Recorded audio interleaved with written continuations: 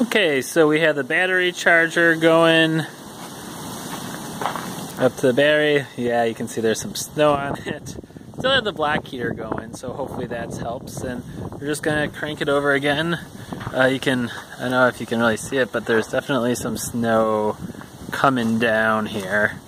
So uh, yeah, but we'll give it a go.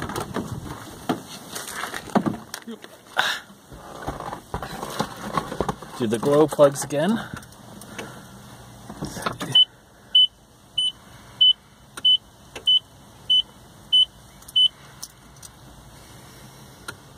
Yeah, you can see the window, our windshield. Okay, off, give it a little second. Try it again and let's see how it kicks over. Truck has about 125,000 miles on it.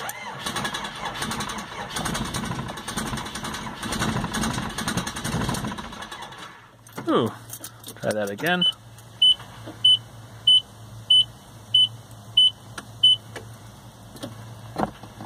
Nope, battery seems pretty gone. So, okay, maybe we'll have a part three on this. Let's try it one more time, maybe. Nope, I'll have to keep charging it.